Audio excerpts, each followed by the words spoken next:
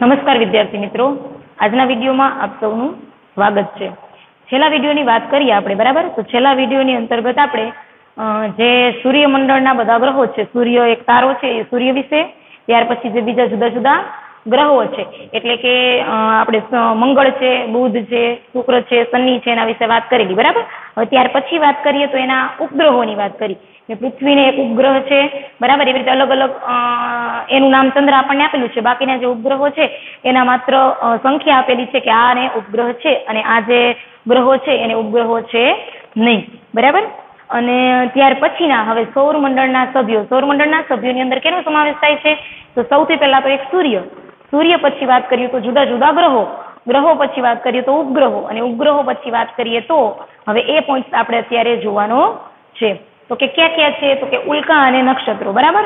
પણ એના પહેલા જે આપણે જુદા જુદા બધા જ ગ્રહો છે, એના વિશે મેં તમને વાત કરી. એ ગ્રહો મેં પહેલા તમને કીધું હતું કે સૂર્યની બાજુમાં કેવી રીતે ગોઠવાયેલા છે? બરાબર? પહેલા કોણ છે? તો બુધ છે. પછી કોણ છે? પછી કોણ છે? તો છેક સુધી યુરેન્સ નેપચ્યુન તો લાઈનમાં તમારે ફરજિયાતપણે યાદ રાખવા પડે. તો એને યાદ રાખવા માટે પાઠ્યપુસ્તકની અંદર અહીંયા આપણને એક સ્ટીક આપેલી છે. બરાબર કે એના દ્વારા તમે યાદ રાખો તો બધા જે નામ છે એ આપણે ક્રમ વાઇઝ યાદ સરળતાથી છે એ રહી જાય.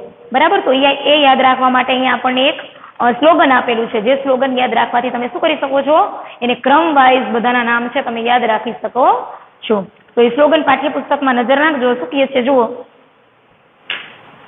અહીંયા આપણને એમ કીધું છે પેજ નંબર ફોર્ટી નાઇન ઉપર my very excellent mother just serve does noodles my very excellent mother just serve us noodles બરાબર? એમાં માય એટલે કે મર્ક્યુરી ત્યાર પછી વેરી તો વેનસ એક્સલન્ટ તો અર્થ મધર તો માર્સ ત્યાર પછી છે જસ્ટ તો જ્યુપિટર સર્વડ તો સેટર અસ તો યુરેનસ અને નૂડલ્સ માટે છે નેપચ્યુન બરાબર? આવી રીતે અલગ અલગ જે નામ છે એ આપણને અહીંયા આ સ્લોગન દ્વારા યાદ રાખવા માટે સ્લોગન આપેલું છે. કે my very excellent mother serve by noodles બરાબર છે? જો એ વાક્ય તમે યાદ રાખી લો તો ઇંગ્લિશમાં બધા છે યાદ રહી જાય. પરંતુ ઇંગ્લિશનું ગુજરાતી શું થાય છે?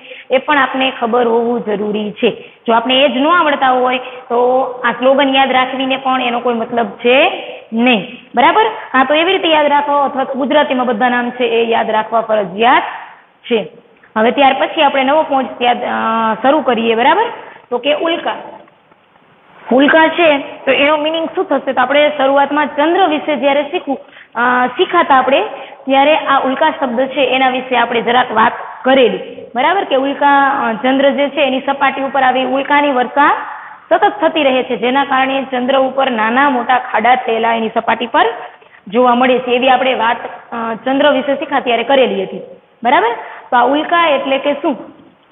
તો કે ઘણીવાર આપણે આકાશમાં શું કરતા હોઈએ છીએ? આકાશમાં જોઈએ તો આપણને તારો ખરતો હોય એવું દેખાય છે. બરાબર? બધા એમ કે જો તારો ખરે છે. તો આ જે ખરતો જે તારો છે, એ તારો નહીં પણ શું છે? એ ઉલ્કા છે. તો ઉલ્કા કેને કહેવાય? તો વ્યવસ્થિત રીતે જોઈએ આપણે, તો કે અવકાશમાં ફરતા પથ્થરના નાના ટુકડા અથવા તો ગ્રહના નાના ભાગને ઉલ્કા કહેવાય છે. અવકાશની અંદર આપણે બધા ખબર છે કે બધા જે ગ્રહો છે, ઉપગ્રહો છે, એના સિવાયના નાના મોટા જે આવી રીતે ટુકડાઓ છે પથ્થરના, એ બધા અવકાશમાં શું છે? તરે છે. બરાબર? તો એ અવકાશમાં તરે છે અને સાથે સાથે શું છે?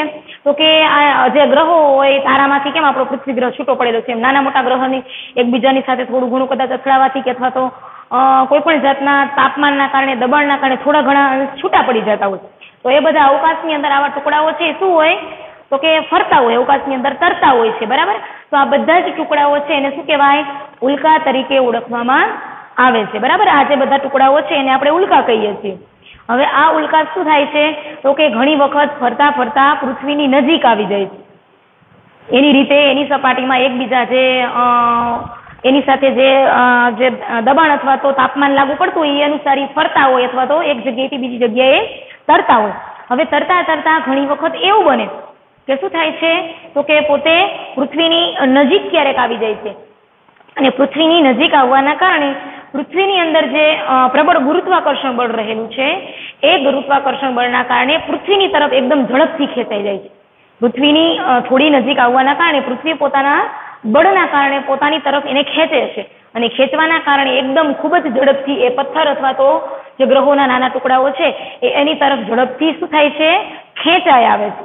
અને એ ખેંચાઈ આવવાના કારણે જ્યારે પૃથ્વીની સપાટીની અંદર, વાતાવરણની અંદર પ્રવેશ કરવા જાય છે, ત્યારે પૃથ્વીના વાતાવરણની સાથે અથડાવાના કારણે એની સાથે ઘર્ષણથી સળગી ઉઠે છે.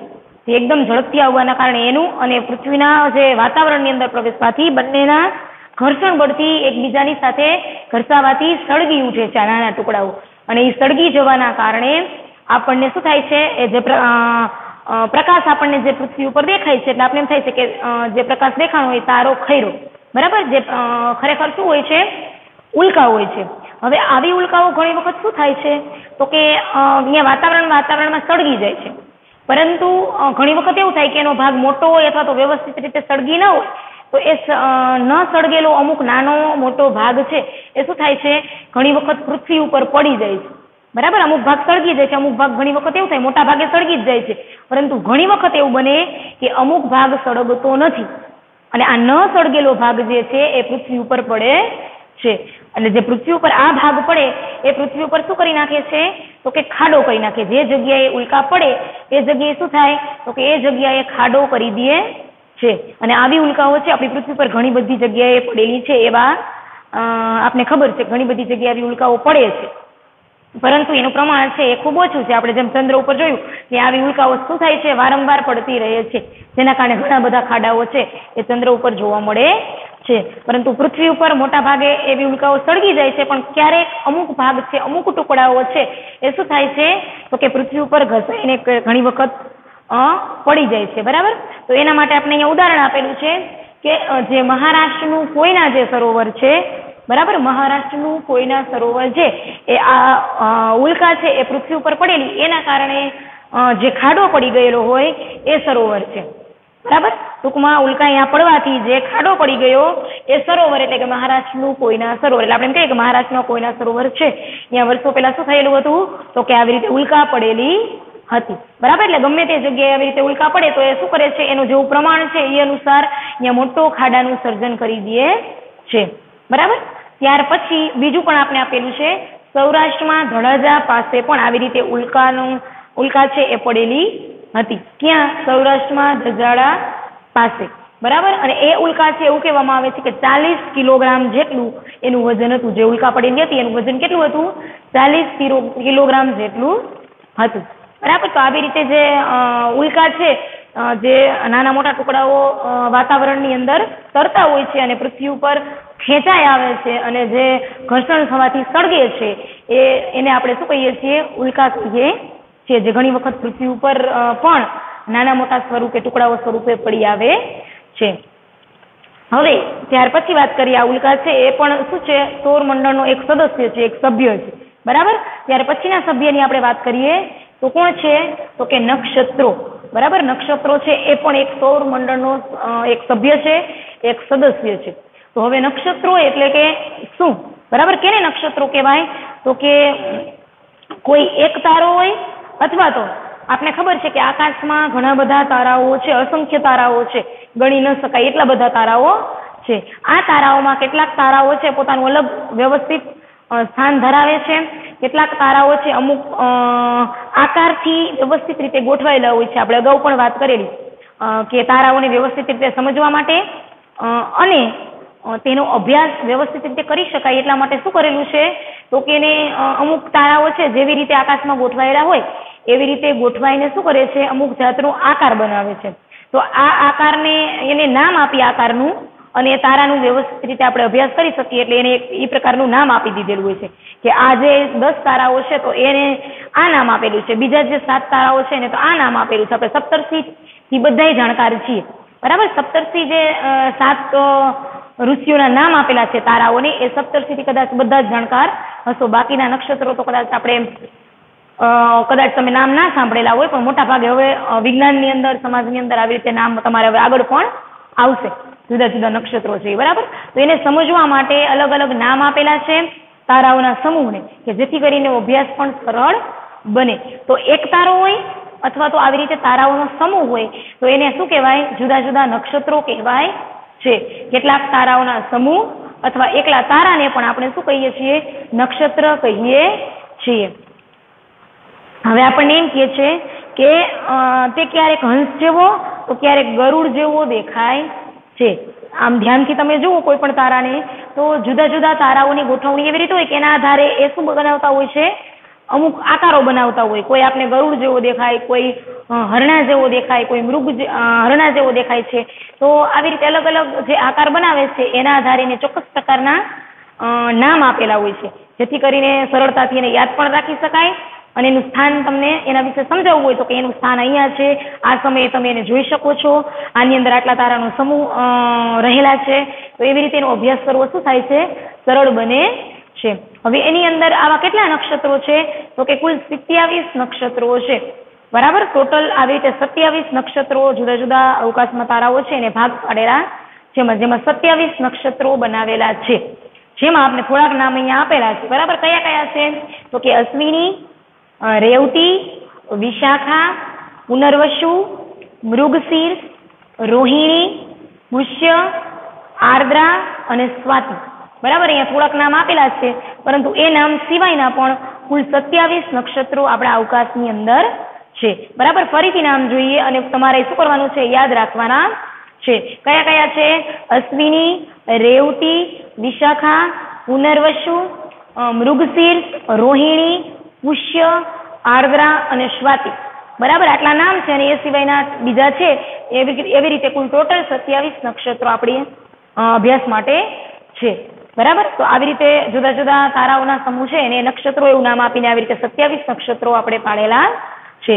ત્યાર પછી જોઈએ, તો આપણને એમ કે છે કે આ બધા નક્ષત્રો છે સામાન્ય રીતે એને યાદ રાખવા એમ કે છે અઘરા પડી જાય છે. બરાબર? કે કયા કયા તારાઓ આ નક્ષત્રની અંદર સમાવેશ પામે છે, કોઈ આપણે બતાવે કે આ સાત તારાઓનો સમૂહ થાય છે, ત્યારે આપણે ખબર પડે. અથવા એક વખતમાં ન ખબર પડે. વારંવાર કોઈ આપણે સમજાવે કે આ સપ્તર્ષિ છે, તો આ સાત તારાઓના સમાવેશ પામે છે. ધીમે ધીમે રોજ જોઈએ ત્યારે આપણને થાય કે ના, આ સરસ આકાર બનાવે છે. ત્યાં સુધી આપણને ઘણી વખત એવું થાય કે આપણને તો એવો કોઈ આકાર દેખાતો નથી.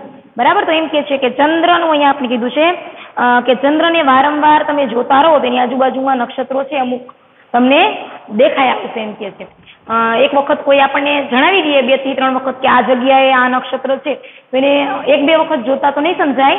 પરંતુ વારંવાર જોવાથી એમ કે છે, વારંવાર કોઈ પણ નક્ષત્ર છે, તમે એની તરફ ધ્યાન દેશો, તો તમને એવા આકાર છે મૃગશીર્ષ છે, તો મૃગ જેવો આકાર છે, તમને શરૂઆતમાં ના ખબર પડે, પણ જો તમને બતાવી દેવામાં આવે કે આટલા આ તારાઓ છે, એ મૃગનું આકાર બનાવે છે, અને મૃગશીર્ષમાં એનો સમાવેશ થાય છે. તો વારંવાર એ એ વસ્તુ તમે જ્યારે અવકાશમાં જોશો, ત્યારે તમને શું થશે? તો કે એના જેવો આકાર છે એવું સમજ પણ પડશે અને આ તારાઓ એમાં સમાવિષ્ટ છે એમ તમે જોઈ પણ શકશો.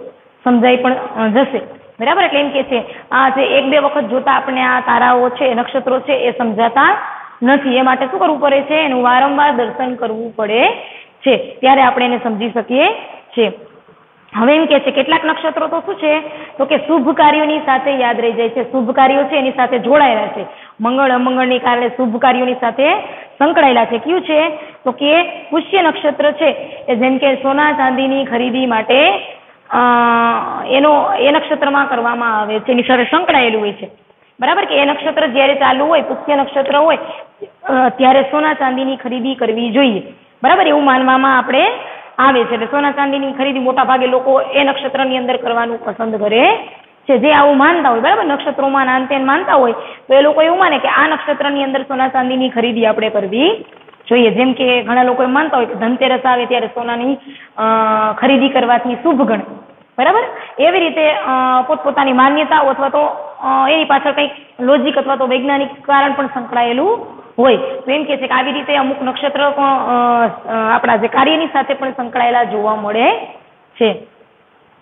આમ, આ બે પોઈન્ટ આજે આપણે જોઈએ તો કે એક ઉલ્કા અને નક્ષત્ર. બરાબર? ત્યાર પછી ઉપરના જે પોઈન્ટ બધા ગ્રહોને તમે ગુજરાતીમાં નામમાં યાદ રાખો, તો પણ ભલે, અથવા તો જે ઇંગ્લિશ માટે સ્લોગન આપેલું છે, એ સ્લોગન યાદ રાખી અને બધા નામ ક્રમશઃ યાદ રાખી લેવા. અને ત્યાર પછી ફરીથી આજે આપણે પોઈન્ટ જોઈ ફરીથી તમને યાદ દેવડાવી દઉં. તો કે આપણે વાત કરી ઉલ્કાની. બરાબર? તો ઉલ્કા કેને કહેવાય? તો કે જે પૃથ્વીની સપાટી ઉપર નાના નાના ટુકડાઓ ફરતા હોય છે. એ અથવા તો ગ્રહોમાંથી છૂટા પડેલા જે નાના નાના ટુકડાઓ હોય છે, એને આપણે ઉલ્કા કહીએ છીએ. હવે આ ઉલ્કા શું થાય છે? તો કે પૃથ્વીમાં તરતા હોય, એમાં ઘણી વખત પૃથ્વીની નજીકથી પસાર થતા હોય, તો પૃથ્વી પોતાની તરફ બળના કારણે ખેંચે છે. પોતાની તરફ. અને એકદમ ઝડપથી પૃથ્વી તરફ ઘસી આવે. અને જ્યારે પૃથ્વીના વાતાવરણની અંદર પ્રવેશ કરવા જાય, આ ઉલ્કા જે છે, એટલે એની સાથે ઘસાવાથી શું થાય છે? સળગી ઉઠે છે. અને આપણને ચમકતો લીસોટો જે લીસોટો છે એ દેખાય છે, એટલે આપણે તારો ખરતો હોય એવું દેખાય. આ જે લીસોટો છે, એ શું છે? ઉલ્કા છે. આવી ઉલ્કાઓ મોટા ભાગે પૃથ્વીના વાતાવરણમાં ત્યાં સળગી જાય છે. બરાબર? અંદર પૃથ્વી પર પડતી નથી. તે પહેલા જ વાતાવરણમાં સળગી જાય છે. પણ ઘણી વાર એવું બને કે અમુક ઉલ્કાઓ છે, વ્યવસ્થિત સળગી ન હોય અથવા કોઈ મોટી ઉલ્કા હોય તો અમુક ભાગ એનો રહી ગયો હોય, તો એ પૃથ્વી ઉપર પડી આવે છે. અને જ્યાં પડે ઉલ્કા એના પ્રમાણ અનુસાર ત્યાં મોટો ખાડો રચી દે છે. અને એવો ખાડો જે આપણે અહીંયા છે પૃથ્વી પર એ કી છે, તો કે મહારાષ્ટ્રનું કોઈના સરોવર જે છે, ત્યાં પણ ઉલ્કા પડેલી અને બીજું છે સૌરાષ્ટ્રના ધજાડા પાસે જ્યાં ચાલીસ કિલોગ્રામની મોટી ઉલ્કા પડેલી હોવાનું માનવામાં આવે છે. અને ત્યાર પછી નક્ષત્ર. તો નક્ષત્ર કેને કહીશું આપણે? તો કે કોઈ પણ એક તારો હોય અથવા તો એકથી વધારે તારાઓનો જે સમૂહ બનાવે છે, એ સમૂહને અમુક નામ આપવામાં આવેલું છે. બરાબર? તો આવા સમૂહને આપણે નક્ષત્રો કહીએ છીએ. આવા કુલ નક્ષત્રો કેટલા છે? સત્યાવીસ છે. સત્યાવીસમાંથી આપણને અહીંયા થોડાક નક્ષત્રો આપેલા છે. કેવા? તો કે અશ્વિની, રેવતી, વિશાખા, પુનર્વસુ, મૃગશીર્ષ, રોહિણી, પુષ્ય, આર્દ્રા અને સ્વાતિ. બરાબર? આવા કુલ સત્યાવીસ નક્ષત્રો છે, જેને વારંવાર આકાશમાં જોવાથી આપણને યાદ રહે છે. બરાબર? એક બે વાર જોવાથી રહેતા નથી. ટૂંકમાં આપણે અહીંયા સૌરમંડળના સદસ્યોની જે વાત કરી રહ્યા છીએ તેમાં સૌરમંડળના સદસ્યોમાં આપણે સૌ પ્રથમ સૂર્ય સૂર્ય પછી જુદા જુદા ગ્રહો ગ્રહો પછી એના ઉપગ્રહો, ત્યાર પછી નક્ષત્રો અને ઉલ્કાઓ. એટલા સદસ્યોની અહીંયા આપણે વાત કરેલી છે. બરાબર? હવે અહીંયા આપણે એમ કહે છે કે હવે આપણે પૃથ્વી વિશે ફરીથી વધારે જાણકારી મેળવીશું. પૃથ્વી વિશે આપણે માત્ર એક ગ્રહ તરીકે માહિતી મેળવી કે પૃથ્વી ગ્રહ ઉપર જીવન શક્ય છે પૃથ્વી ગ્રહ ઉપર આવી રીતે વાતાવરણ છે, પાણી છે, ઓક્સિજન છે. એના સિવાયની વધારાની પૃથ્વી ગ્રહ વિશે હવે માહિતી આપણે નેક્સ્ટ પીરિયડની અંદર વાત કરીશું.